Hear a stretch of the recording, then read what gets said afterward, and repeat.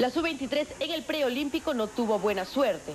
El 18 de febrero, en el Estadio Municipal General San Martín, en Tandil, Perú pierde por 4 a 1 ante Brasil. El pé izquierdo partiu, bateu, gol! A enfiada de bola para Sábio, posição legal, e o terceiro gol, capricha Sábio, faz a finta, bate Sábio, gol! Área no meio, ele o cai, toca para trás, bateu pro Jamel, olha o gol! Gol!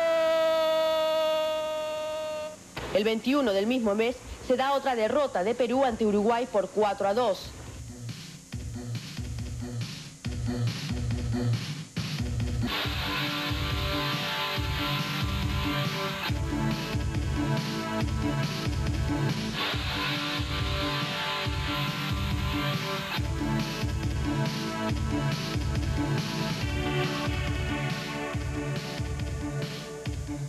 El 23 nuevamente cae Perú ante Paraguay por 4 a 2.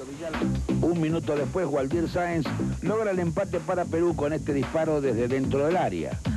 Centro desde la izquierda, entra Armando Villalba y con un disparo de derecha decreta el 2 a 1 en favor de Paraguay.